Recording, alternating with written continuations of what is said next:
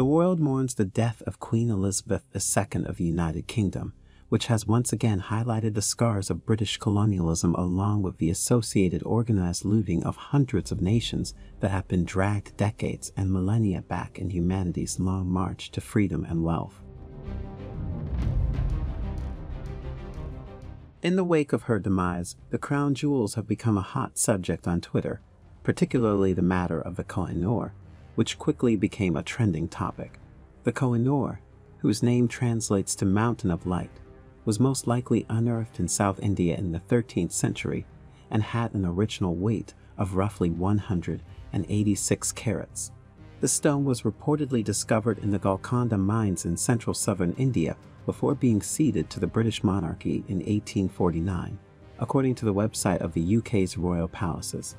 In 1849, the East India Company captured the Kohinoor from deposed 11 year old Emperor Maharaja Duleep Singh.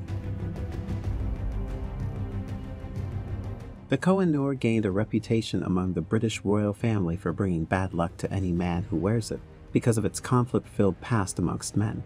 Queen Victoria wore it at first as a brooch, after which it was placed in the crowns of Queen Alexandra and Queen Mary.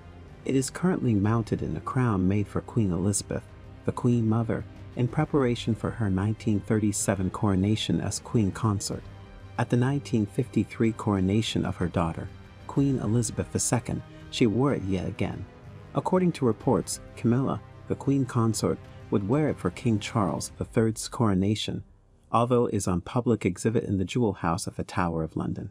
In an interview last year, former Deputy Prime Minister of the United Kingdom Nick Clegg stated the UK will keep hold to the disputed diamond and future monarchs will do same. There is no doubt in, in our mind that the diamond was relocated to this country under uh, legal conditions which are not in any doubt. But there is, I think, clarity in the sincerity with which the Queen holds the crown jewels, all of them, in trust on behalf of the nation, has done for many generations, and future monarchs will continue to do so. The diamond has been the subject of legal and political controversy in India due to disagreements over who is the rightful owner, with claims coming from both Pakistan and India. But not only did the British loot expensive items from India alone, but they plundered historic relics and cultural artifacts of intangible heritage of nations within Africa, all the way to Greece. Many contend that the monarchy is the only relic of the ancient empire in a contemporary democratic Britain, and that the empire's emphasis on looting is what led to the poverty of its colonies. Hence, people in India, Africa, and a host of nations across the globe believe that given the history of British colonialism, the capture of these jewels and artifacts is fraught with controversy and demand that the royal family restore to their original owners the artifacts acquired by the British Empire.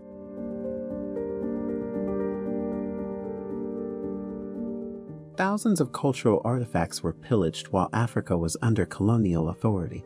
Today, major museums in Europe have agreed to loan some of these artifacts back to African nations which want them returned and France has published a report urging the return to Africa, the wealth of works of African art that are currently housed in French museums.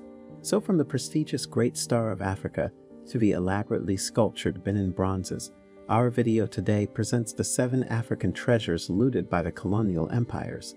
Be sure to leave a comment, like, and subscribe to our channel for more exciting future videos.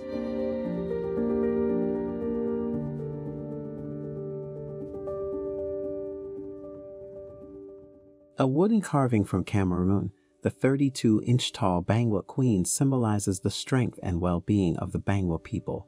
It is one of the most well known works of African art in the world and wields enormous sacred significance for the people of Cameroon. In the Bangwa realm of the modern day Lebialem district of Cameroon's southwest region, sculptures of titled royal wives or princesses were known as Bangwa queens.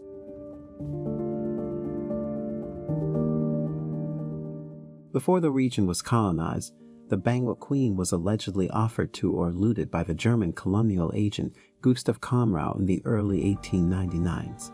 It eventually wound up in Berlin's Museum für Völkerkunde before being purchased by an art buyer in 1926. The carving was purchased by American art collector Harry A. Franklin for $29,000 in 1966, and following his passing, It fetched $3.4 million at a Sotheby's auction. The Queen of Bangwa was also depicted by surrealist portrait artist Man Ray in a 1937 portrait of a nude model, which the New York Times claims is one of his most well known works.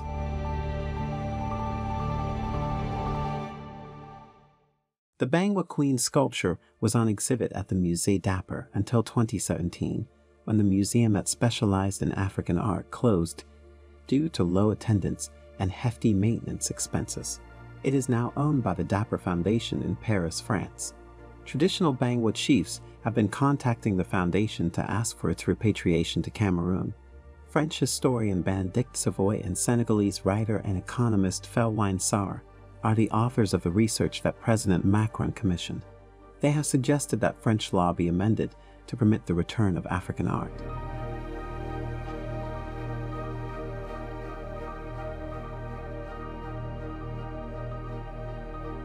They appear on Zimbabwe's national flag, currency, and official documents, stone statues of birds that European colonizers took from the country more than a century ago. The eight original sculptures have enormous spiritual significance for the inhabitants of the southern African nation and have been adopted as emblems. Six of the massive carvings were taken from Great Zimbabwe ruins, an impressive stone complex that was said to have been constructed by pre-colonial King Munhu Mutapa during the 11th and 13th centuries. Almost all of the looted treasured green and gray soapstone birds have now been restored to the country. Only one remains, and it is housed in the home of Cecil Rhodes, a 19th century British mining tycoon and imperialist. In 1906, he took many birds from Great Zimbabwe to South Africa. Four of them were given back in 1981, the year that followed Zimbabwe's independence.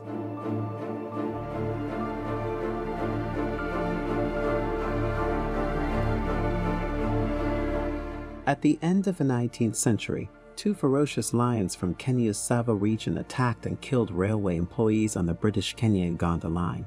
In 1898, laborers spent nine months constructing the railway route between Mombasa and Lake Victoria. Lieutenant Colonel John Patterson, the British engineer in charge of the railway project, eventually shot the two murderous creatures dead. The Field Museum of Natural History in Chicago, Illinois, purchased the stuffed lions from Patterson in 1925 and added them to the museum's permanent collection. The Field Museum claims that following examination by its scientists, Lieutenant Colonel Patterson's estimate of 135 railroad workers and black Africans killed by the lion's feeding frenzy was substantially lowered to 35. Presently, the Kenya National Museum wants the lions back in Kenya.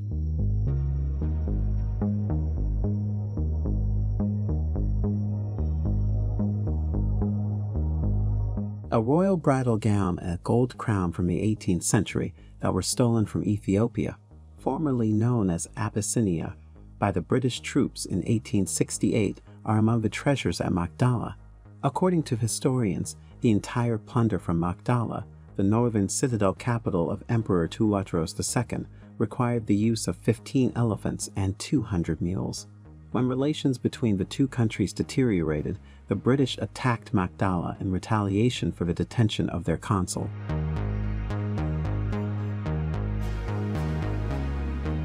The royal wedding gown and crown, which are valued for their silver and copper filigree decorations and religious images imprinted, are important representations of the Ethiopian Orthodox Church.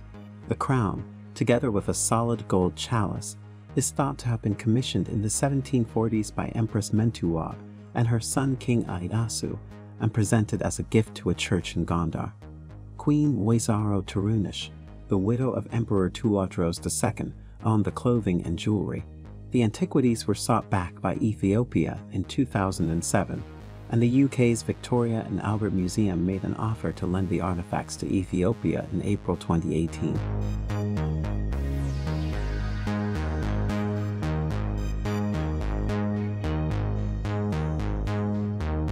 While Indians demand the restitution of the Kohinoor, Egyptians seek the Rosetta Stone, which is presently on exhibit at the British Museum. The enigmatic hieroglyphic writing system of ancient Egypt has been deciphered thanks to the granodiorite stele, Rosetta Stone, making it arguably the most well known rock on the entire planet.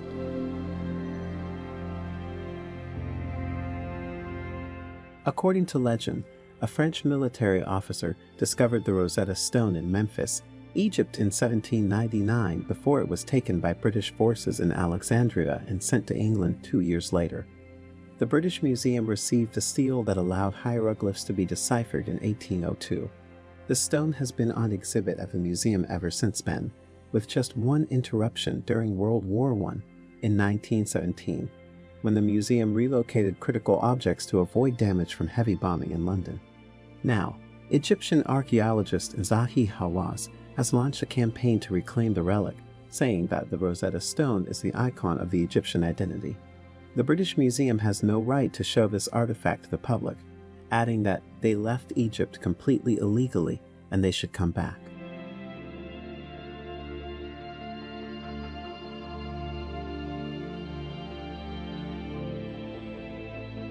The exquisitely crafted sculptures and plaques known as the Benin bronzes, which are actually made of brass, grace the royal palace of Ovonramwen Nogbaisi, who was the Oba of the Kingdom of Benin, which was later annexed into Nigeria under British administration. They were carved out of wood, ceramic, brass, ivory, and ceramics for the ancestral altars of former kings and queen mothers. In 1897, in retaliation for an assault on a British diplomatic mission, the British conducted a punitive expedition against Benin. Numerous royal artifacts, in addition to bronze statues and plaques, were removed as a result of the operation and are now dispersed all over the world. According to the British Museum in London, many of the artifacts in its collection from Benin were given to it in 1898 by the Foreign Office and the Lords Commissioners of the Admiralty. Nigerians have been requesting that the figurines be returned to them since they are a window into the African art of the time, and it is simply wrong that people must travel to London to see them. Top European museums agreed in October to loan important artifacts back to Nigeria for the new Royal Museum, which is set to open in 2021.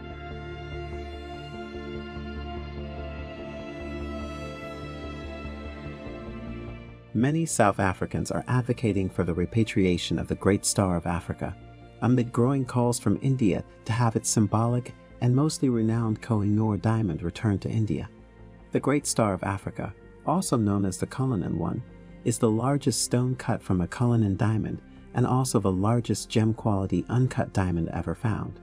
It was discovered in South Africa in 1905 in a mine owned by its namesake, Thomas Cullinan. Presently, the Great Star of Africa is affixed to the sovereign scepter with the cross. These gems have been seen adorned by Queen Elizabeth II in various portraits.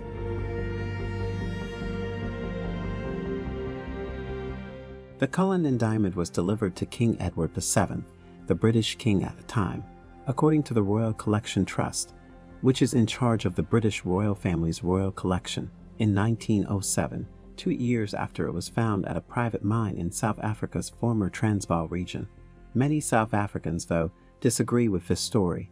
Everisto Benyera, a professor of African politics at the University of South Africa, told CNN that the whole Transvaal and Union of South Africa governments, as well as the associated mining syndicates, were illegitimate, and that receiving a diamond that was stolen does not absolve the recipient.